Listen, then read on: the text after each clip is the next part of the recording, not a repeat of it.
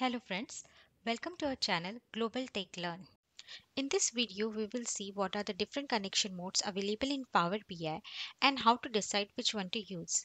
In Power BI, we can get data by either using import mode, in which it pulls data from the source and stored in a Power BI desktop, or by using a direct query mode which connect to data source and execute query on data source itself. And third is a live connection in which it only reads data from the source and present it on the report. Now let's see practically how to connect to data sources using three different modes and what are the advantages and features of each data source connection type. Let's load data from SQL Server in import mode and we will see what are the advantages and features available with import mode. So from recent sources, I am selecting my SQL Server connection.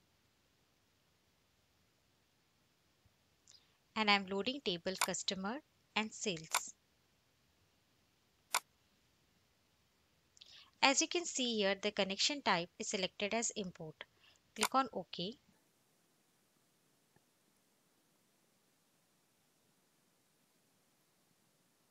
When we load data using an import mode, all the three views on Power BI desktop, report view, data view and model view are available. Import mode allows us to build modeling by creating a relationships, setting cross-filter directions between different data sets. So suppose I'm deleting this already established relationship.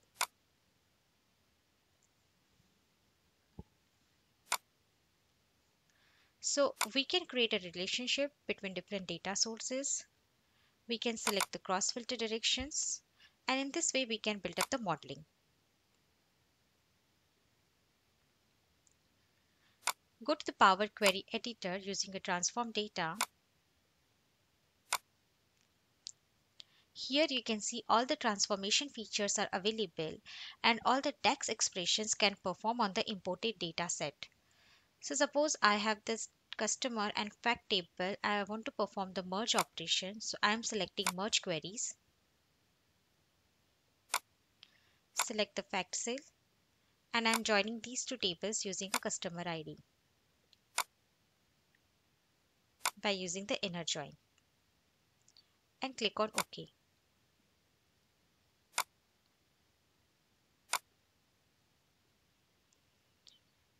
Let's remove the column customer key so I am selecting customer key column and selecting remove column option. So all these transformations we can perform on the imported data sets. As we are loading data and storing in Power BI and performing analysis on this cache data, to get the updated data in Power BI, we have to schedule a refresh for this dataset in Power BI services. To summarize import query mode, it is a default mode while loading the data into Power BI. We can load data into Power BI from different sources such as Excel, databases using the import mode. With imported data, all the features of Power BI transformations and DAX functions are available. With data being stored in a Power BI itself, it gives a better performance. The next connection type is using a direct query. Let's load a data using a SQL Server with a direct query mode connection. So from a recent sources, I am selecting SQL Server connection and loading data for the tables customer and sales. Let's select the connection type as a direct query and click on OK.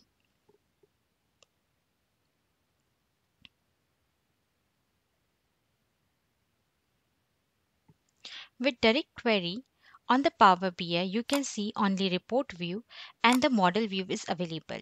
Data view is not available as there is no data in a Power BI. Also, we can create a data modeling by establishing a relationship between different data sets in a data model view. So let's create a relationship between customer and the fact sale table using a customer ID.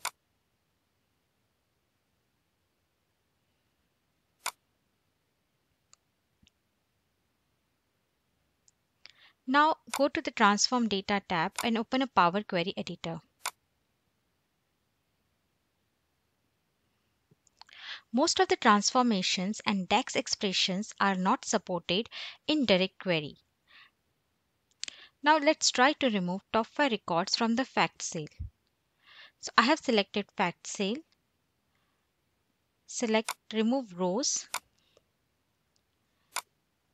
and select top 5 records and click on OK.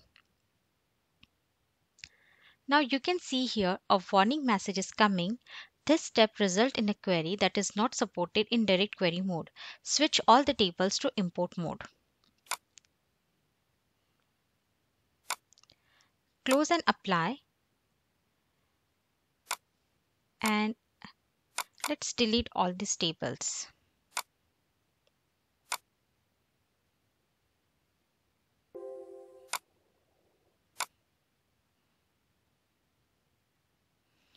Now let's load a date table using a direct query mode. So here I have selected date table.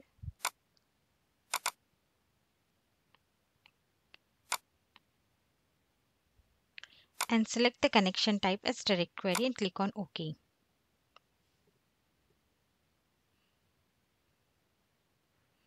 You can see here I have a date column with date data type here the data type for the column date is a date. But when you go to the report view, you will see for the date column, no hierarchy is generated. Even though in options and settings,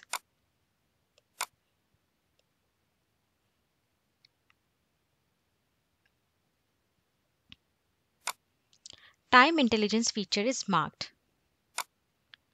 Now let's change the storage mode for this date table to import.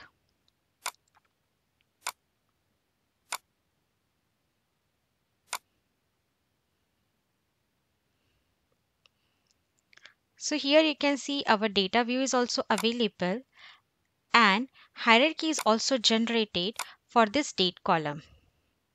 So when we are loading data in direct query mode, there are many DAX expressions or transformation features or time intelligence features are not supported. To summarize direct query, when we connect data sources using direct query, data resides to the source database itself. Only report view and model view is available in a Power BI with a limited data transformation features. For direct query connection, data sources and gateways should always be up and running to get the updated data in a report. We should consider a direct query in case of data sources with a huge volume or where real-time data is required for reports.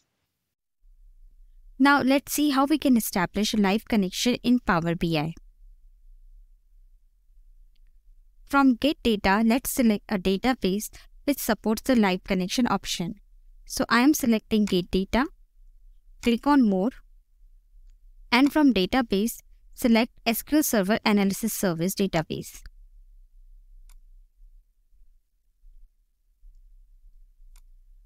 Provide server name and here you can see connect live option is available. Click on OK.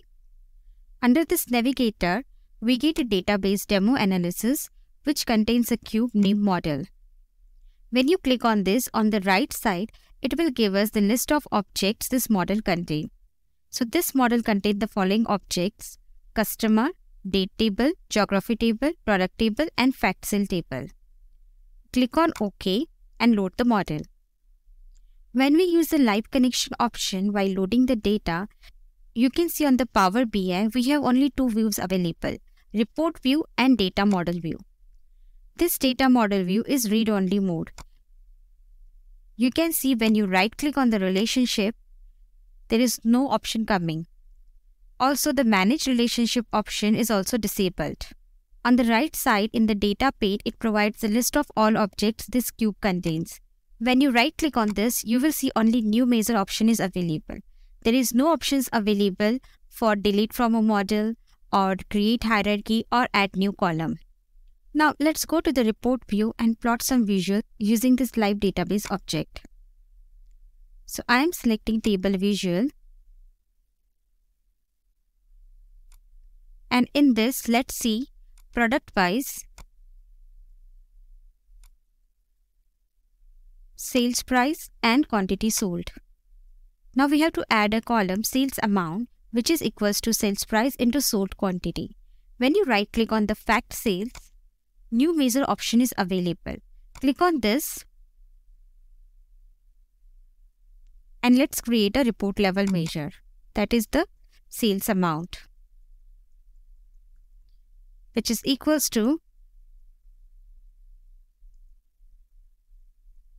sales price multiply by quantity sold.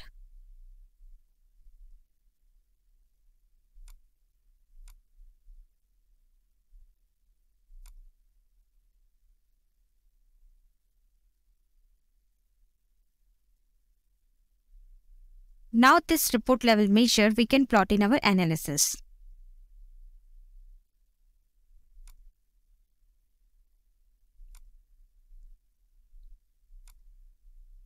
Also when we are using a live connection, transform data option is not available. We cannot perform any transformations on the live connection data. So when I click on the transform data, we'll get a message to convert the required connection into the direct query mode.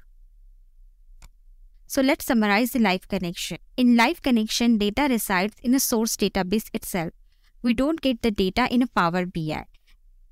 Modeling option is not available for the live connection databases and we can only plot the visualization as the modeling is handled in the database itself. Live connection is useful for the cases like analysis services or the cubes. In live connection database, we cannot perform any transformations and we can plot only the report level measures. When we are using a live connection, we cannot combine multiple data sources. So what are the advantages with the live connection? With live connection as data model is already in a place which is already handling the complex business logics, it is easy to start the development without worrying about the model. And with the live connection, we do not need to worry about the data size as the data resides in the data source itself. Now let's see which points we should consider while making decision to select the connection type. If we have a data in file types like CSV or Excel, then only connection mode available for this kind of data sources is import mode. When dealing with databases, connection mode can be selected depending upon the volume of data. For small or medium data size database, we can go with the import mode. But in case data size is huge or user wants to see runtime data, or data security concerns are there that organization doesn't allow their data to go outside of their premises or on the cloud, in those cases we can go with the direct query. It is always recommended to give preference to the import query mode as it gives better performance and all the transformation and Power BI options are available in this mode. In case of SSAS cubes, go with the live connection as there is no need to create data model again and we can start the analysis directly. In some complex cases, we can go with the composite model or the dual model, where we can load certain objects with the import mode and other objects using a direct query mode as required. If you find this video useful, then please do like, share and subscribe our channel Global Tech Learn. Also mention in the comment section if you want us to cover any other topic related to Power BI. And we'll be back with more such learning videos. Till then, take care.